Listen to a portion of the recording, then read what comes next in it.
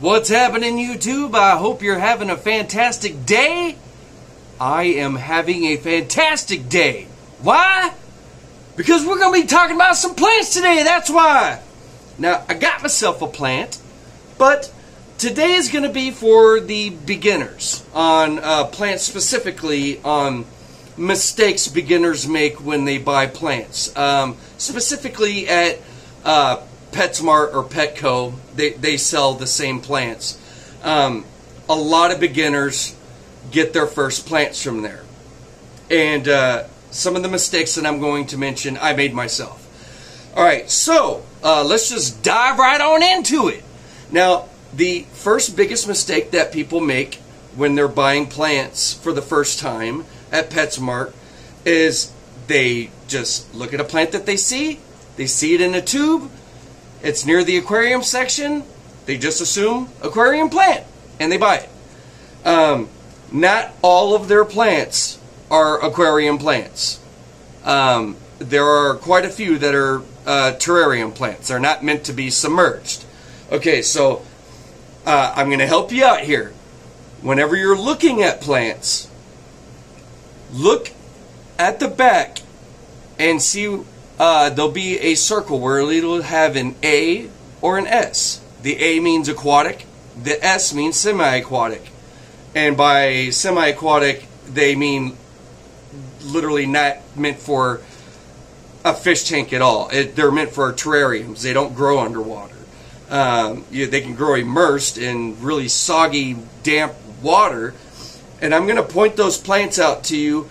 I, I know the plants at Petco and PetSmart. I've got them memorized. Um, and uh, the most common plants, for some reason, that everyone buys for the first time when they're looking at all of them are the uh, golden white ribbon plants. Um, that was the first one that I bought too, not an aquarium plant. Um, and like I said, the package does tell you, but of course, an employee is not going to point that out to you, and you don't know that you should look for it because you're at a pet store, you're in the fish section, you assume all the plants there are for aquariums. So, uh, white and gold ribbon plants, not aquatic. Um, peacock plants, not aquatic. Lucky bamboo, not aquatic. That was one I bought also, thinking it was an aquatic plant. It is not an aquatic plant. It will die on you. They also sell uh, a grass called Mondo grass, and they don't sell that in the tubes or in the tissue cultured bags. That's with the agar, the gel.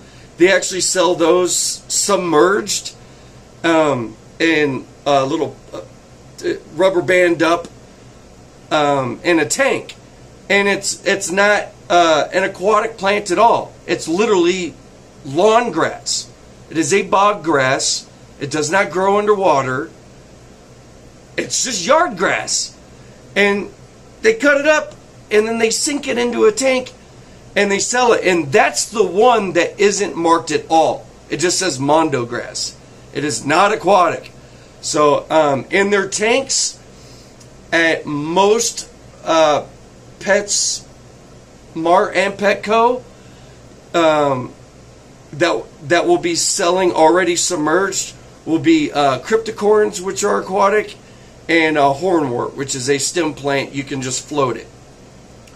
All right, so the second biggest mistake that um, uh, beginners make when they're buying their plants at PetSmart and Petco is they don't understand the difference between a, a rooted plant, a plant that grows in substrate, meaning whatever you have at the bottom of your tank, soil, aquarium soil, dirt, whatever, pebbles, whatever that may be.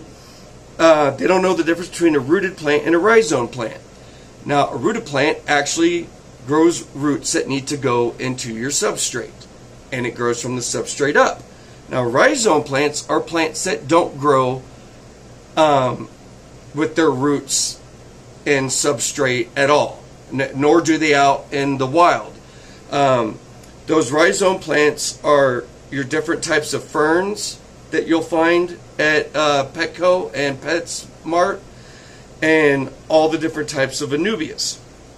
Uh, those grow they they get their nutrients from the water column. So you actually attach those to um, you know uh, to driftwood uh, or to a, a, rock or something like that, and they don't tell you that either.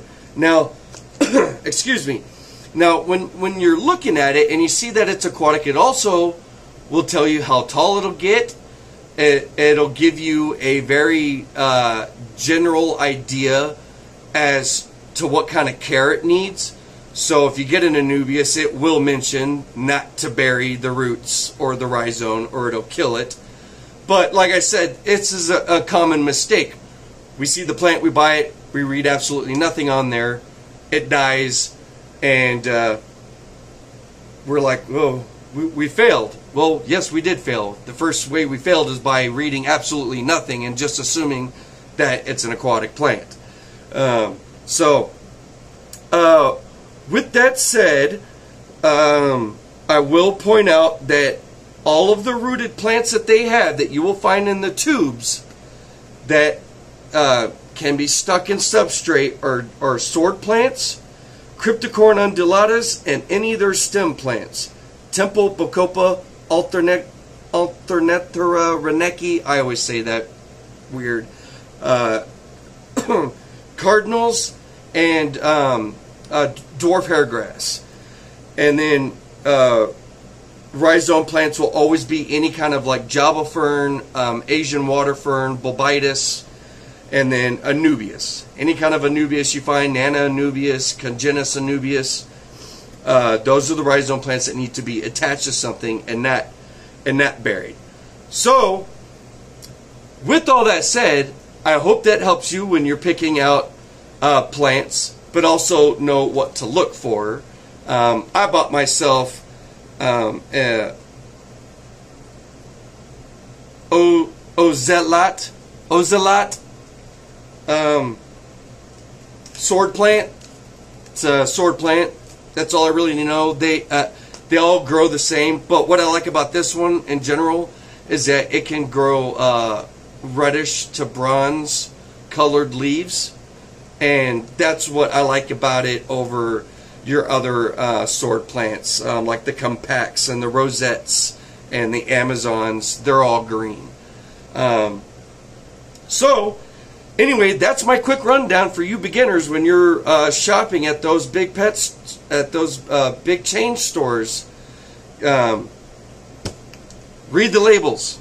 Make sure it's an aquatic plant and or if you want save this video because I just named off every single plant that they have that's not aquatic and the ones that are aquatic so I hope that helped you I know not all of you are beginners but I've I've had some beginners um, new subs come in and ask me questions about some of these plants and uh, I'm just I, I decided you know what I'm just gonna throw this video out there because I, I had so many new subs come in I, I forget that a lot of you that have been following me are no longer beginners and we're way past all of that. But new people come in and they still need advice. Uh, so there's your advice with the plants. And I will make a beginner video for substrates. I will make a beginner video on lighting um, and uh, water, the whole nine yards. So there you go. And I think this is probably the fastest video I've ever made. Thank you so much for your time. Thank you for watching. Thanks again to all the new subscribers. And I hope you have a wonderful day. And like always, if you're having a bad day, you're down in the dumps, get up and do something about it. Catch you guys next time.